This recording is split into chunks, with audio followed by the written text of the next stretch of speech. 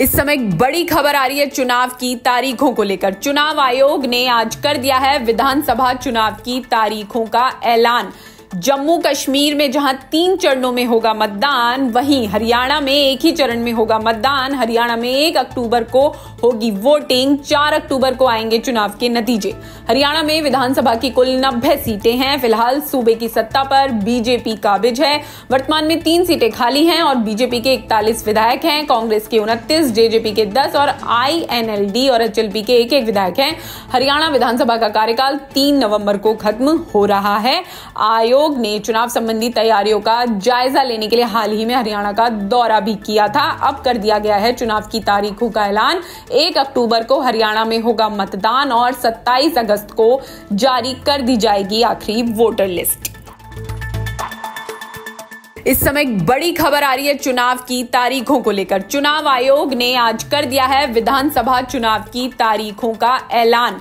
जम्मू कश्मीर में जहाँ तीन चरणों में होगा मतदान, वहीं हरियाणा में एक ही चरण में होगा मतदान। हरियाणा में एक अक्टूबर को होगी वोटिंग, चार अक्टूबर को आएँगे चुनाव के नतीजे। हरियाणा में विधानसभा की कुल नब्बे सीटें हैं। फ़िलहाल सूबे की सत्ता पर बीजेपी काबिज है। वर्तमान में तीन सीटें खाली हैं और बीजेपी के इकतालीस विधायक हैं। कांग्रेस के उनतीस, जेजेपी के दस और आईएनएलडी और एचएलपी के एक एक विधायक हैं। हरियाणा विधानसभा का कार्यकाल तीन नवंबर को खत्म हो रहा है। आयोग आयोग ने चुनाव संबंधी तैयारियों का जायजा लेने के लिए हाल ही में हरियाणा का दौरा भी किया था। अब कर दिया गया है चुनाव की तारीखों का ऐलान। एक अक्टूबर को हरियाणा में होगा मतदान और 27 अगस्त को जारी कर दी जाएगी आखिरी वोटर लिस्ट। इस समय बड़ी खबर आ रही है चुनाव की तारीखों को लेकर। चुनाव आयोग ने आज कर दिया है विधानसभा चुनाव की तारीखों का ऐलान। जम्मू कश्मीर में जहाँ तीन चरणों में होगा मतदान, वहीं हरियाणा में एक ही चरण में होगा मतदान। हरियाणा में एक अक्टूबर को होगी वोटिंग, चार अक्टूबर को आएँगे चुनाव के नतीजे। हरियाणा में विधानसभा की कुल नब्बे सीटें हैं। फ़िलहाल सूबे की सत्ता पर बीजेपी काबिज है वर्तमान में तीन सीटें खाली हैं और बीजेपी के इकतालीस विधायक हैं। कांग्रेस के उनतीस, जेजेपी के दस और आईएनएलडी और एचएलपी के एक एक विधायक हैं। हरियाणा विधानसभा का कार्यकाल तीन नवंबर को खत्म हो रहा है।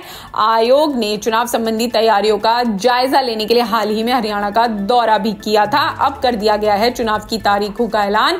एक अक्टूबर को हरियाणा में होगा मतदान और 27 अगस्त को जारी कर दी जाएगी आखिरी वोटर लिस्ट। अगर ये वीडियो आपको पसंद आया है तो इसे लाइक ज़रूर करें।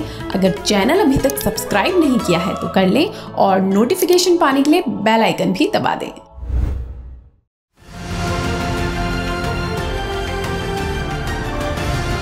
किसान तक। खाना है तो उगाना है। किसान तक खाना है तो उगाना है। किसान तक? खाना है तो उगाना है। किसान तक? खाना है तो उगाना है। किसान तक। खाना है तो उगाना है। किसान तक खाना है तो उगाना है।